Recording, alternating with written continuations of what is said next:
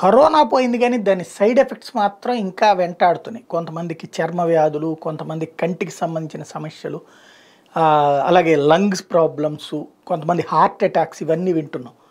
అది కరోనాకు ముందు చాలా ఆరోగ్యంగా ఉన్నోళ్ళు కరోనా వచ్చిన తర్వాత కూడా ఆరోగ్యంగానే ఉన్నాం అనుకున్న వాళ్ళు అకస్మాత్తుగా గుండెలాగి చనిపోవడం లాంటివి కూడా చూస్తున్నాం.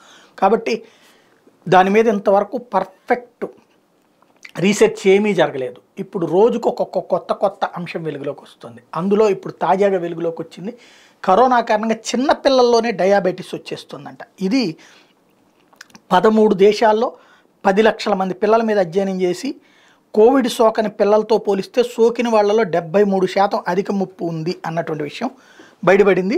కరోనా మహమ్మారి బారి నుండి ఆ తర్వాత బయటపడిన దాని ప్రభావం చాలా కాలం ఉంటుందన్నటువంటి నేపథ్యంలో జరుగుతున్నటువంటి రీసెర్చెస్లో ఇది లేటెస్ట్ది కరోనా బారిన పడిన చిన్నారులు కౌమార దశలో ఉన్న పిల్లలకు టైప్ వన్ డయాబెటీస్ ముప్పు బాగా పెరుగుతోంది అన్నటువంటిది ఈ అధ్యయనం చెప్తుంది.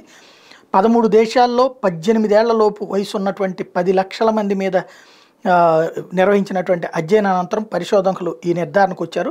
కరోనా సోకిన ఆరు నెలల లోపు వీళ్ళలో చాలామంది డయాబెటీస్ బారిన పడ్డారని గుర్తించారు. కోవిడ్ బారిన పడని వాళ్ళతో పోలిస్తే పడిన వాళ్ళల్లో ఈ ముప్పై డెబ్బై మూడు శాతం ఈ ముప్పు డెబ్బై మూడు శాతం అధికంగా ఉందట. దీనికి ఇన్ఫెక్షనే కారణమా అన్న విషయం మీద ఇంకా స్పష్టత రాలేదు.